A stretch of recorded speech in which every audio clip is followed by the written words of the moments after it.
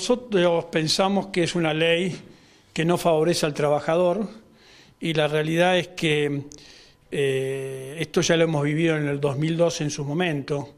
Eh, yo tengo una experiencia porque trabajaba, eh, era gerente general de una empresa, donde cuando pusieron la doble indemnización en el 2002, nos generó un problema interno en la empresa donde un técnico muy importante que teníamos 14 años trabajando, eh, empezó a, querer que lo echemos para cobrar la doble indemnización.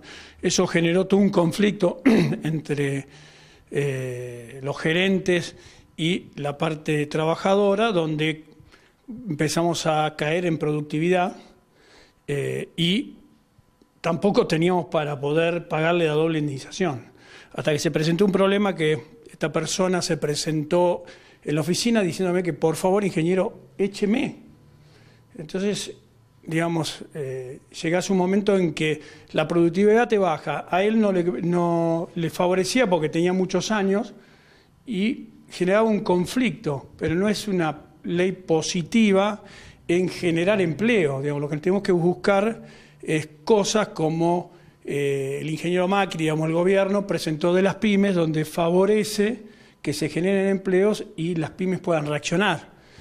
Eh, esta es una ley que la semana pasada eh, la gente de masa no bajó al recinto y resulta que ahora, una semana después, baja al recinto y vota a favor.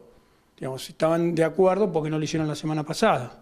Digamos, lo que tiene esta ley es un tinte político, debemos ver quién tiene más poder más que eh, ayudar al trabajador y a las empresas a que produzcan más y que crezcan más. ¿Qué tipo de problemas puede traer entre empresarios y trabajadores esta ley antidespidos?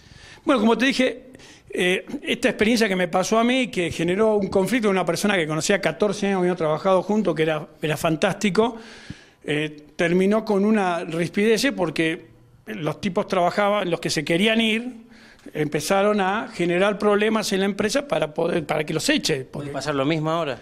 Y bueno, digamos, eh, eh, hay muchas cosas que la mente del ser humano dice, bueno, en vez de cobrar 14 sueldos, cobro 28, entonces me pongo un negocio, una cosa, no me viene mal.